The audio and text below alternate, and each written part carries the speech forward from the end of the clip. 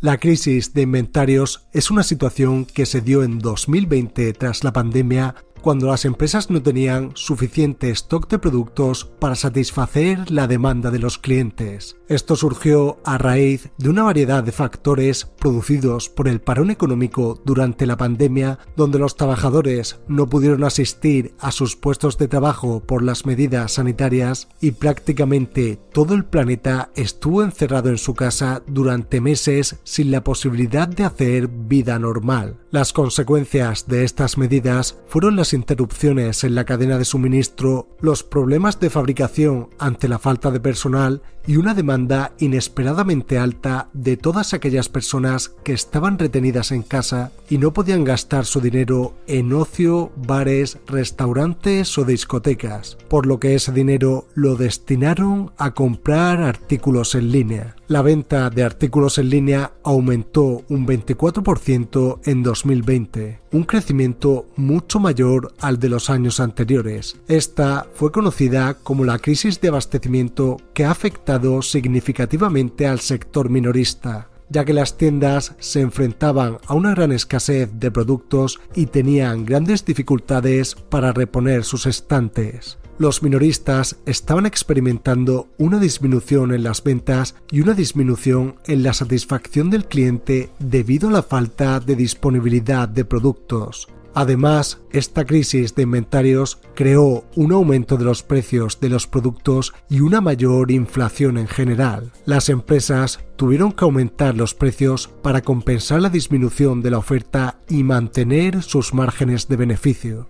Tras esto, cuando las cadenas de suministro volvieron a funcionar al 100%, los minoristas decidieron abastecerse ante la fuerte demanda que aún se estaba produciendo. Pero hubo un acontecimiento que no supieron predecir, y es que ante la alta inflación que acababa de producirse, la demanda bajó de forma repentina, y es que la subida de precios generalizada impidió que la mayoría de las personas pudiesen comprar productos al ritmo que lo hacían antes. Esto generó una nueva crisis en el sector minorista conocida como la crisis del exceso de inventario, que es una situación en la que los minoristas tienen una cantidad excesiva de productos en su inventario y no pueden venderlos lo suficientemente rápido como para generar ganancias. Esto nació de la combinación de la inflación que produjo una reducción de la demanda combinada con una mala planificación de inventario. La crisis de exceso de inventario puede tener consecuencias graves para los minoristas, incluyendo una disminución en las ganancias, la necesidad de reducir precios y la necesidad de realizar descuentos y promociones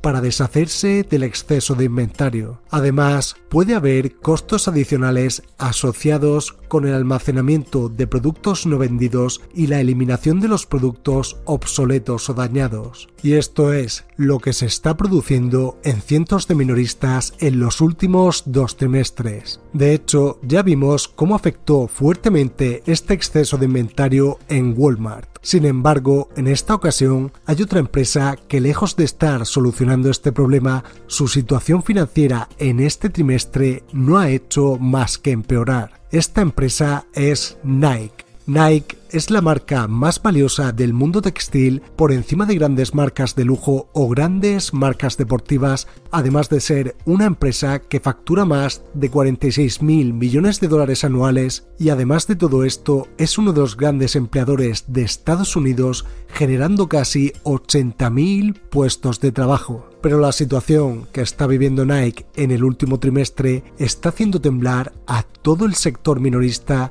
y se prevé que esta empresa sufra grandes problemas que muestran la debilidad económica de Estados Unidos. Y Nike no es el único minorista que está pasando por esta difícil situación. Otros gigantes deportivos como Adidas, Puma o Under Armour están sufriendo la misma situación y se están viendo obligados a despedir a miles de empleados, a cancelar pedidos a sus proveedores y a hacer ofertas exclusivas con el fin de deshacerse de ese exceso de inventarios que está generando grandes pérdidas en estas compañías. Esto muestra la debilidad del consumidor de Estados Unidos y en última instancia la debilidad económica del país que podría seguir empeorando si esta situación continúa. Nike ya tuvo bastantes problemas de inventarios a lo largo de 2022, y es que en octubre de ese año Nike informó de que sus inventarios aumentaron un 44% en toda la empresa al final del trimestre.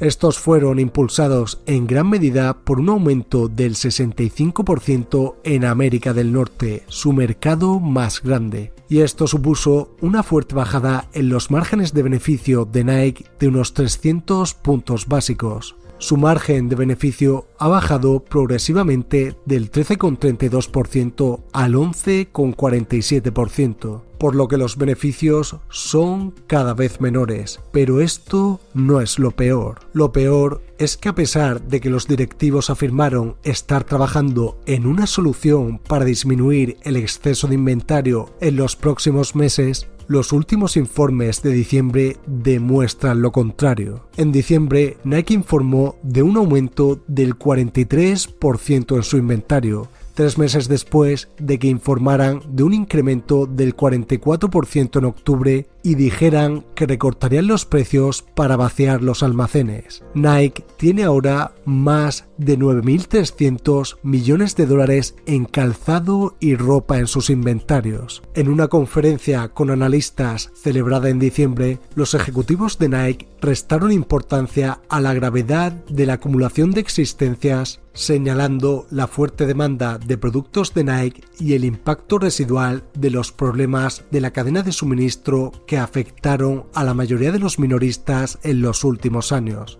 En los años 80, Bob Goodell, uno de los ejecutivos fundadores de Nike, describió el aumento del inventario como un cáncer que nos iba a comer vivos. Aunque los ejecutivos de Nike ya no hablan con la franqueza de los fundadores, el concepto básico no ha cambiado. El inventario puede ser mortal para las empresas de ropa deportiva. Business Insider ha hablado con analistas de Wall Street sobre qué esperar de la empresa durante este año. Lo primero en la mente de los analistas es que Nike necesita deshacerse de inventario y conseguir que las ventas crezcan más en China. Los analistas también se preguntan cuánta competencia enfrentará Nike por parte de Adidas bajo su nuevo CEO, Borg Gulden. Los niveles de inventario van a ser clave en 2023, explica a Business Insider Brian Yarbrough, analista senior de investigación en Edward Jones. Cada vez que estás en una situación de mucha promoción como ahora, entonces la cuestión se convierte en ¿puedes retroceder al precio normal? La situación en Nike es cada vez más insostenible y esto solo representa una parte del sector minorista, y es que todos los minoristas de artículos que no son de primera necesidad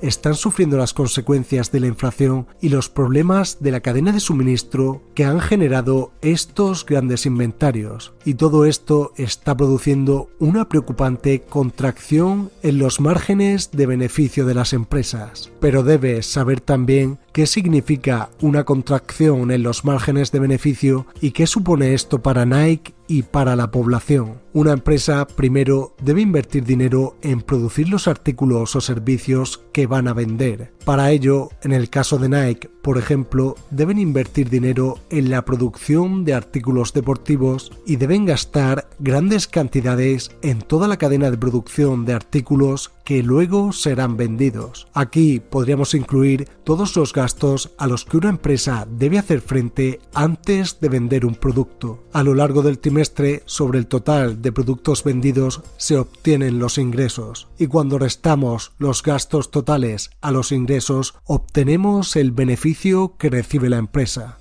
Pero lo que ocurre en esta ocasión es que Nike, al tener un gran aumento de sus inventarios, implica que ellos han tenido que gastar una cantidad de dinero mayor para producir los artículos que luego no se han vendido, y esto aumenta los costes de la empresa, y a su vez deben hacer descuentos para deshacerse de este exceso de inventario, por lo que al vender los artículos más baratos, los ingresos totales se reducen. En conjunto, al haber mayores costos y menores ingresos, el margen de beneficio de Nike se está viendo cada vez más perjudicado y esto afecta directamente a sus empleados. Y es que Nike y Adidas ya han despedido a más de 6.000 empleados en su línea de producción en Vietnam y al parecer ya están comenzando a despedir a una gran parte de su plantilla en Estados Unidos en el último mes. Esto muestra la debilidad de un sector que lejos de mejorar está empeorando su situación